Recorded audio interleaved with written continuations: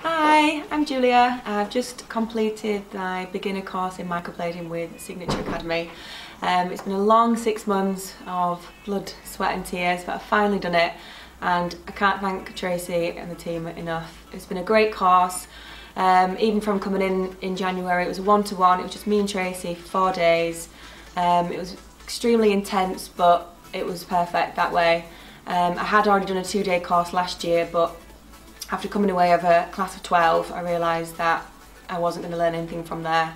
Um, over the past six months I've been back twice already for a mentor day, um, been back doing plenty of models and Tracy has been on the end of the line 24-7.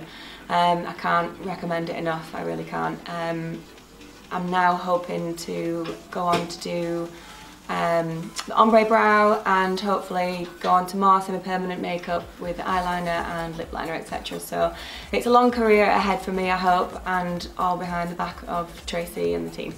So definitely go and do it.